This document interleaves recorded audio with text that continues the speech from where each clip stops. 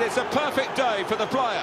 Well, a little look of celebration, but inwardly, he must be buzzing. Brilliant. You have to say the marking was pretty pitiful, but really good finish. I have to say it's so one-sided today, but all credit to the team that are racking up the goals. Getting forward well as a team now. Typified the competitive nature of this game, that tackle. It's only a throw-in. And now shot! And the goalkeeper plunged to make the save. So the corner about to be taken. Put the corner in the middle. Cleared away, well away from goal. Has a go here!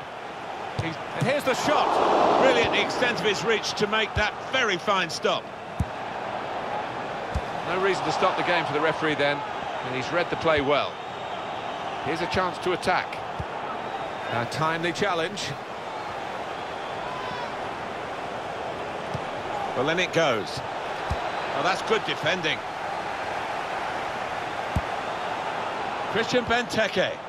He's gone in strongly and got the ball. Verratti.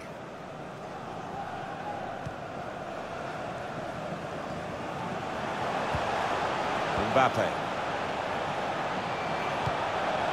And shoots! That's the right kind of football dive to turn the shot away. Corner to be taken. Oh, well played the referee.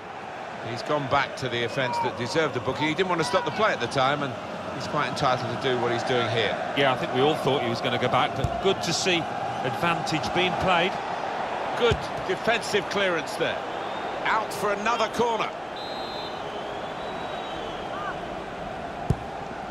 They've opened them up here.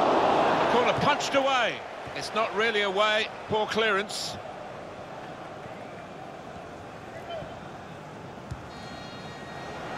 Now it's Kelechi Iheanacho. There's good progress with this attack. Shot on! Well, that was so close to going inside the post, but it's just straight past the outside. Yeah, I think he'd beaten the keep. Can finish it off. Slipping it through. And this is a goal!